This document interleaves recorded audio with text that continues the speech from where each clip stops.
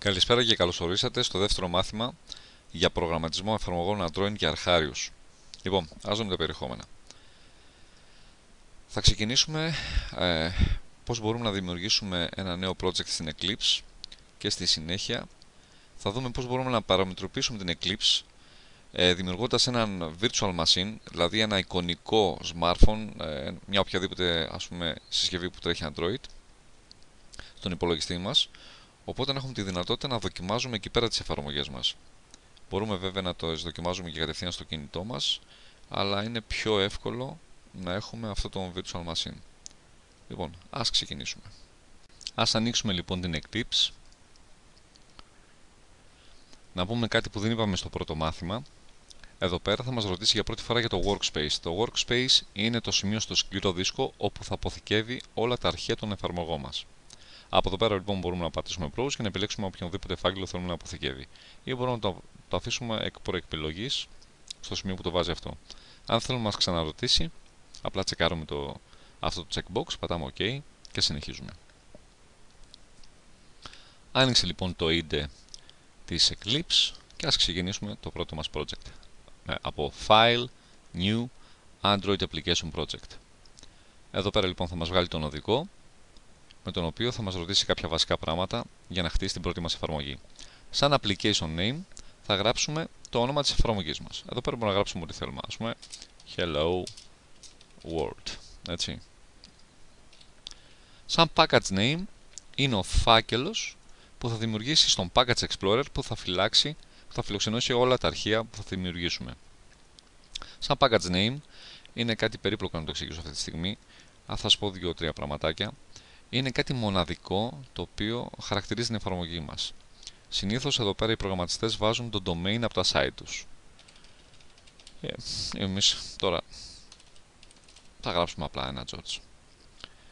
Σαν minimum required SDK θα βάλουμε ποια API έκδοση θέλουμε να υποστηρίζει η εφαρμογή μας, η, η μικρότερη.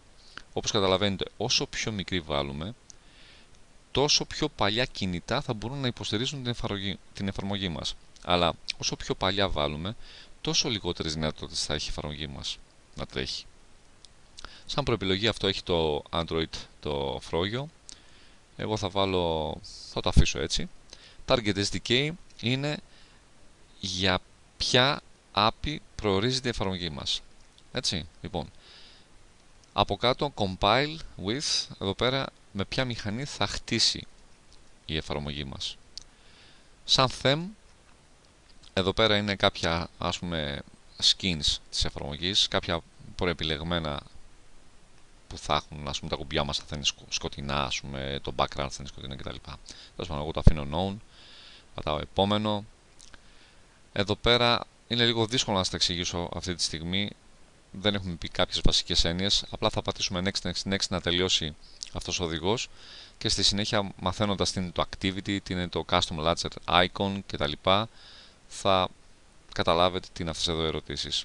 Απλά εμείς πατάμε εδώ next, next, next και finish και θα πούμε αργότερα τι είναι όλα αυτά. Μόλις μαθαίνουμε τι σημαίνει activity, τι σημαίνει layout, τι σημαίνει διάφορα πράγματα. Λοιπόν, η Eclipse δημιούργησε ένα φάκελο και κάτω από αυτόν εδώ το φάκελο έχει δημιουργήσει όλους αυτούς τους υποφακέλους και κάποια αρχεία. Έτσι. Θα πούμε πολύ λίγα πράγματα.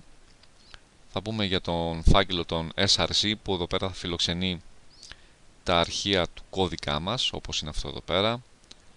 Έχει δημιουργήσει τον φάκελο res από τα resource, τα οποία εδώ πέρα έχει κάποιους φακέλους οι οποίοι θα φιλοξενούν τα εικονίδια μας, τις εικόνες μας, τα αρχεία ε, από μουσική, από ήχους, έτσι.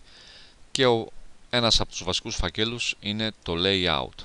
Το layout εδώ πέρα φιλοξενεί τα XML αρχεία, όπως βλέπετε, τα οποία δημιουργούν τις οθόνες αλληλεπίδρασης με το χρήστη. Έτσι. Αυτό λοιπόν λέγεται layout. Είναι εδώ πέρα όπου θα σχεδιάζουμε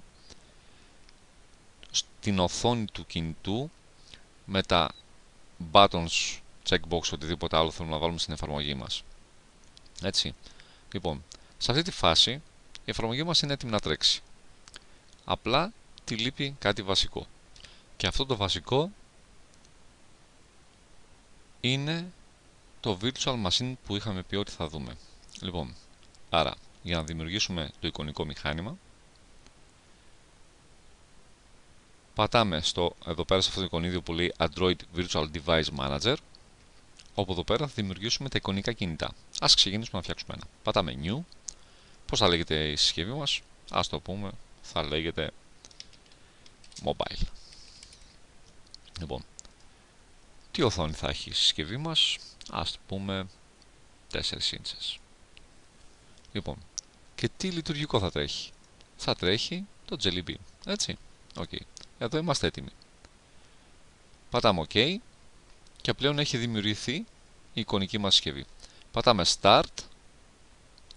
Μας ρωτάει εδώ πέρα αν θέλουμε λίγο να... Αν το αφήσω έτσι ακριβώς όπως είναι και πατήσω Launch θα πιάσει σχεδόν όλη μου την οθόνη. Πατάω λίγο Scale Display to Real Size και εδώ θα το κάνω 6 ώστε να το κάνει λίγο πιο μικρό το κινητό. Πατάμε Launch και όπως είδατε ξεκίνησε ήδη η εφαρμογή μας. Φορτώνει λοιπόν ο emulator, θα κάνει αρκετούτσικη ώρα. Έτσι, θα πατήσω λίγο pause και μόλις ξεκινήσει θα ξανασυνεχίσω. Και να λοιπόν που η εικονική μας συσκευή έχει ξεκινήσει λειτουργεί ακριβώς όπως ένα κινητό έτσι. Έχει το μενού του, έχει το πίσω, έχει το μενού των εφαρμογών, έτσι. Λοιπόν, σαν να έχουμε ανοίξει ένα καινούριο κινητό. Λοιπόν, ας το κάνουμε minimize, είναι μια ξεχωριστή εφαρμογή από την Eclipse, έτσι. Δεν είναι κάτι το οποίο απλά τρέχει παράλληλα. Λοιπόν, κλείνουμε τον Android Virtual Device Manager και ας φτιάξουμε τα λεγόμενα configurations, δηλαδή για το πώς θα τρέχει η εφαρμογή μας. Αυτό το κάνουμε την πρώτη φορά.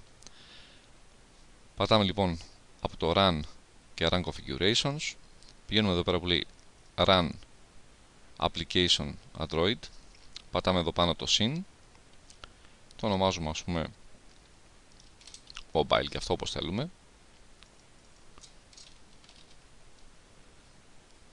Από το project, ποιο project θα τρέχει, θα πατήσουμε το browse, θα επιλέξουμε το δικό μας το project. Και στο target θα του πούμε να επιλέξει αυτήν εδώ την virtual machine. Σε αυτή τη φάση πατάμε apply, το έχει σώσει και πατώντας run θα εγκαταστήσει την εφαρμογή μας σε αυτό το εικονικό κινητό. Έτσι. Λοιπόν, μόλις στείλει όλα τα αρχεία τα απαραίτητα θα τρέξει και την εφαρμογή μας. Ορίστε. Ξεκίνησε. Ό,τι βλέπουμε εδώ πέρα, το βλέπουμε και εδώ. Λοιπόν, μέχρι εδώ θα μείνουμε και στο επόμενο βίντεο θα μάθουμε για το πώς θα φτιάχνουμε, πώς θα βάζουμε ε, αυτά τα components πάνω σε αυτό το layout πώς θα πειράζουμε τα ύψη, τα μεγέθη ε, τι τύποι layouts υπάρχουν, γιατί υπάρχουν διάφορα layouts που μπορούμε να βάλουμε στην οθόνη μας και ούτω καθεξής. Αυτά. Τα λέμε στο επόμενο βίντεο. Ευχαριστώ.